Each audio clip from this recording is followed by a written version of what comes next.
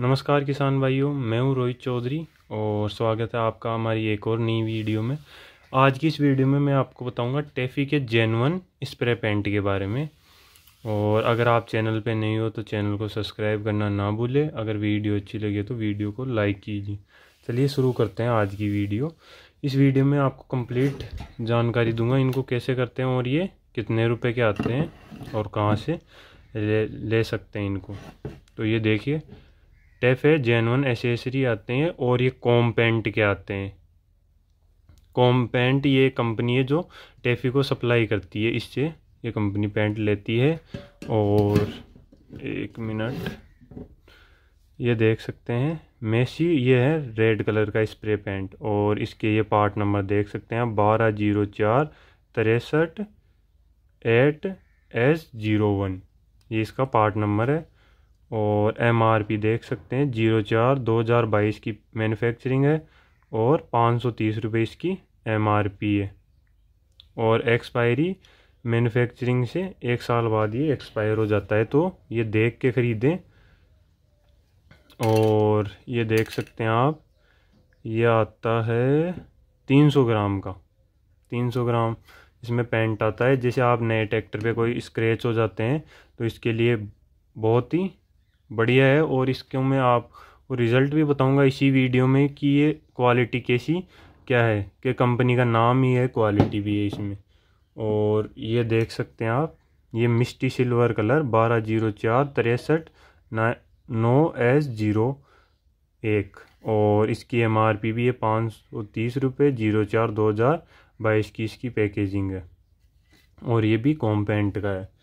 तो ये मुझे अपने ट्रैक्टर की चारों रिमो पे करनी है और ये डैशबोर्ड और मरगाट पे करनी है। तो कैसा क्या रहता है, वो आपको मैं बताऊँगा। पार्ट नंबर दे के लिए आपने। चलिए, आगे बताता हूँ इनकी कैसी क्या क्वालिटी है। अब इनके बारे में आपको कंप्लीट जानकारी मिल गई है। अब इसकी क्वालिटी बताता हूँ कि ये कैसा, ये नाम का ही है एक टेफे का। पाँच सौ, साढ़े पाँच सौ रुपये ख़राब तो नहीं जाएँगे। तो ये देख सकते हैं आप इसकी क्वालिटी साइड में से कवर कर रखी है और बहुत ही बढ़िया क्वालिटी है। आप जैसे नए ट्रैक्टर में कोई भी स्क्रैच हो जाए तो इससे आप बेझिझक काम में ले सकते हैं। तो ये देखिए, पहले एसी थी रिम और ये एसी हो गई। और इसको पेंट करने से पहले मैं आपको बता दूँ क्या क्या करना है। पहले तो रिम को अलग उतार लेना है और पूरे ये जितने भी है, इसको सैंड पेपर से घिस लेना है, बढ़िया। जैसे जंग लगा हुआ है, जो भी मिट्टी सबको पानी से साफ़ करके इसको सही से घिस लेना है और ये देखिए साइडों में से इसको कवर कर लेना है और इसको भी कर देना है। और पेंट करने से पहले मुँह को अच्छी तरह से ढक के, ताकि ये क्या है कि इसमें केमिकल आते हैं तो आप सांस लेने में ये दिक्कत हो सकती है। चलिए मैं अब इसको कैसे करें वो दिखाता हूँ। इसको जैसे ज़्यादा पास से नहीं करना है, थोड़ी सी दूरी रखना है और एक जगह पे नहीं करना है मतलब दूर से ऐसे राउंड शेप में करते जाना है। ये देख सकते हैं आप। ये देख।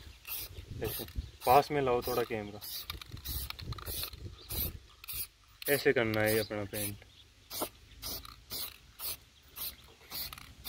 दूर से करना है, ज़्यादा पास नहीं लाना।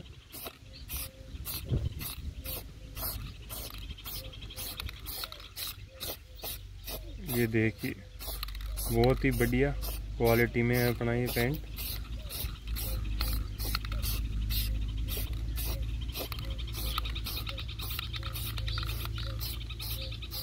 ऐसे ग्राउंड में हर जगह घुमा घुमा के करना है। तो आप उसकी क्वालिटी देख ही ली। इसको मैं कंप्लीट ऐसे हो जाएगी ये। तो वीडियो अच्छी लगी है तो वीडियो को और से ज़्यादा से ज़्यादा किसान भाइयों में शेयर कीजिए और चैनल पे नए हो तो चैनल को सब्सक्राइब करना ना भूलें। धन्यवाद।